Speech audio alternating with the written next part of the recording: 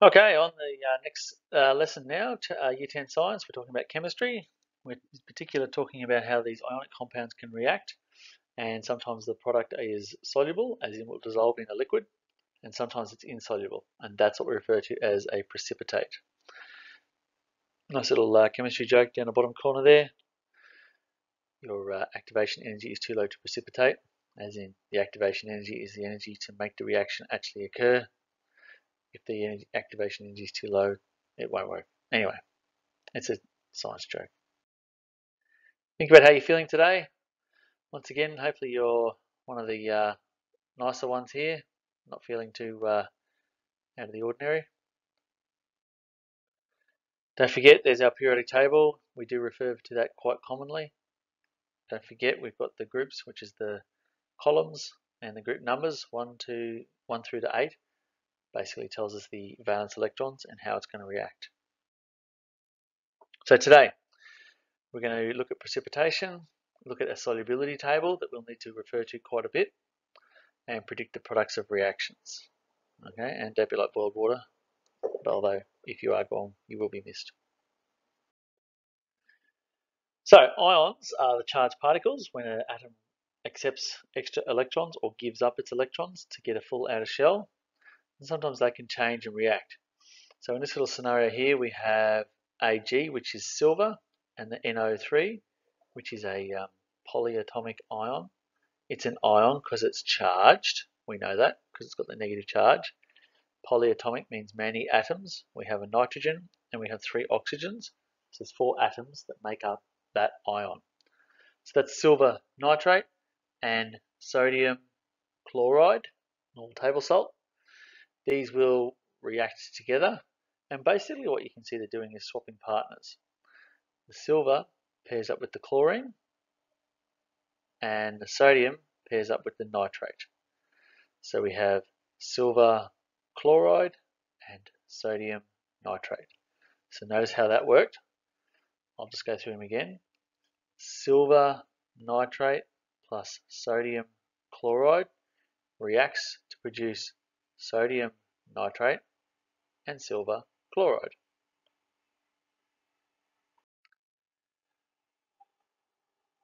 So we did look at uh, ionic formulas of um, actually some of the formulas from last time, as in how we get the, the 2 plus, 1 plus, 2 negative, 1 negative, and so on.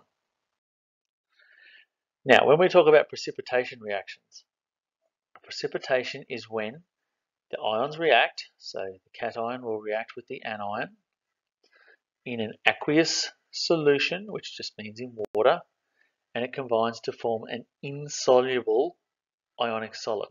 What that means is the anion and the cation react with each other, so the positive and negative ion react, and what they produce is not soluble in water. It will not dissolve in water, and that means it comes out of solution as a solid like on the bottom of the test tube or something like that. And that's what we refer to as a precipitate. Okay, so if you're not part of the solution, as in if you're not dissolved in the liquid, then you're a precipitate. That's what the little chemistry cat's telling us. Here's a good example, the reaction of silver nitrate and sodium chloride. So what we have in our, our equation is silver nitrate plus sodium chloride and it's one of those sort of like double displacement type reactions where the sodium will pair up with the nitrate, sodium nitrate, and the silver pairs up with the chlorine, silver chloride. Okay, now notice that uh, we've specified in brackets there PPT, which is precipitate, or sometimes we just say that it's a solid. In brackets, we just put an S for solid like we did when we were talking about the redox reactions. So here's a nice little example, test tube of silver nitrate, and because it's aqueous, let's see it says AQ, aqueous, it's dissolved in a liquid, water. It's like the um, silver ions and the nitrate ions can kind of dissociate a bit or split up a bit from each other. Same with um, dissolving salt in water, so um, sodium chloride in water, the sodium and the chlorine will sort of split up from each other a bit. When they react, you end up with um, the sodium chloride and the silver nitrate. Uh, silver chloride and sodium nitrate is what I meant to say. Now, the silver chloride is not soluble in solution, so it precipitates out as a white solid, much like that little test tube there. This is uh, one that tends to sort of float a bit in the water, so hence it's at the top of the test tube. But often you'll see like a, a solid substance, powdery type thing sitting at the bottom of the test tube. That's what the precipitate looks like.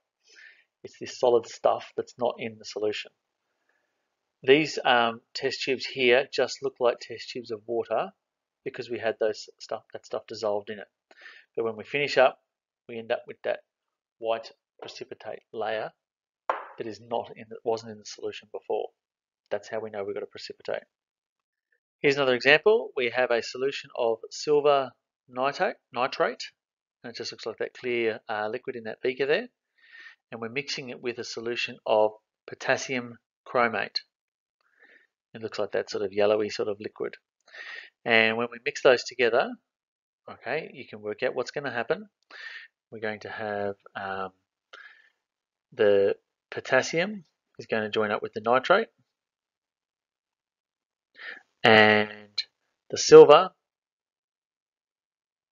is going to uh, react and join with the chromate.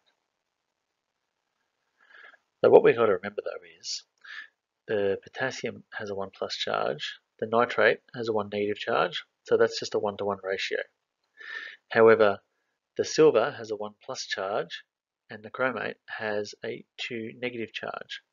So we will need two silver atoms for every one chromate. Okay. Now, the thing about this is, that's what it shows us just down there. So we have um, potassium and nitrate in the solution, and that is that yellowy liquid there. And we get this solid stuff form, this browny sort of looking thing.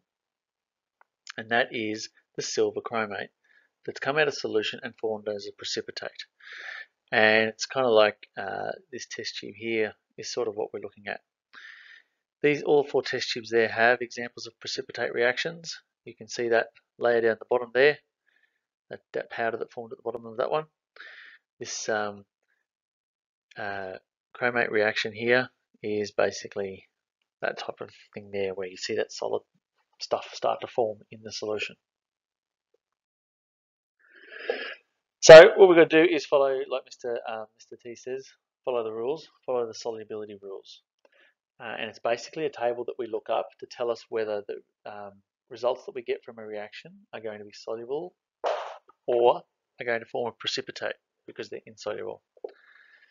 So not all aqueous reactions form precipitates, so we consult the solubility rules before we determine the state of the products and to write our equation for the reaction because that's what we'll end up doing. We'll be given um, examples of what's going to react, and we have to write the reaction and work out whether the, the products are solid precipitates or not.